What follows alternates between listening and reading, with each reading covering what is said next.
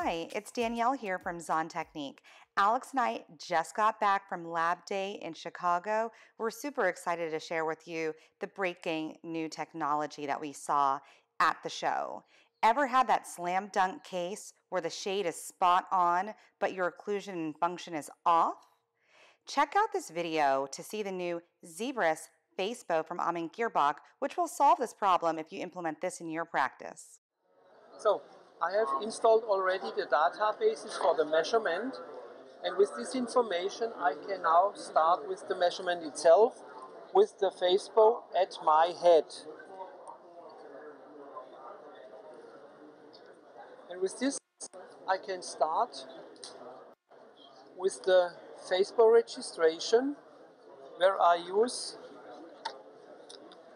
the bite fork together with the sensor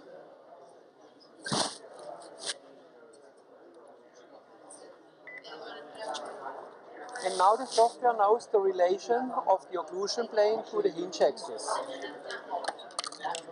With the next step, I will record I will record now my movements. And you can see now what I when I move I speak, you can follow my movements directly on the screen and I will measure now the lateral occlusion left.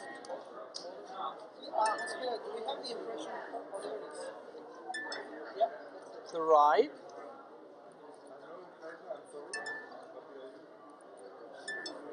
The protrusion.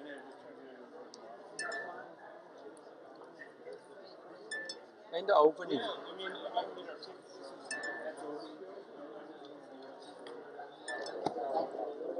And I will get out of this measurement all the information which we need for the articulator.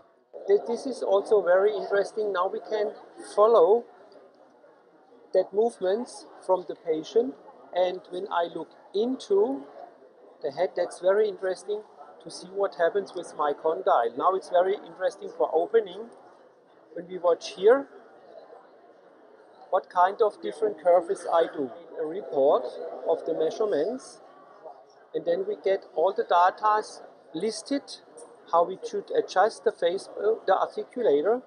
This is now something what we get as an instrument to diagnostical use and finally we do the adjustments for the table to transfer the face bow into the real articulator. This costs three minutes like I have done here and then we are finalized to a perfect articulator system for a treatment of a patient. Like what you saw? Subscribe to our YouTube channel today to stay updated.